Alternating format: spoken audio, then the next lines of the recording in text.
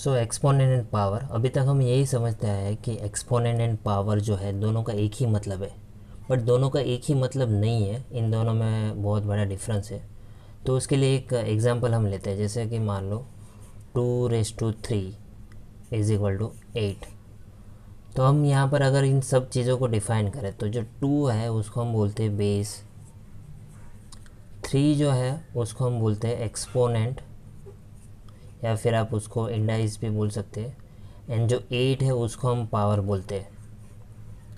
तो जैसे हम एन e में भी और बहुत सारी जगह पर ऐसा लिखा है या फिर हम बोलते भी है two to the power three जो गलत है।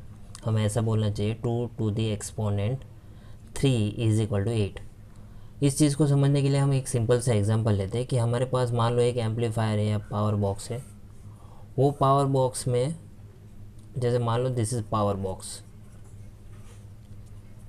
और पावर बॉक्स में हम इनपुट देते हैं टू और इसमें ऐसी कोई प्रोसेस होती है कि हमें आउटपुट में मिलता है एट तो ये जो वैल्यू है वो टू से बड़ी है तो हम इसको बोल सकते हैं कि eight this value is a powered form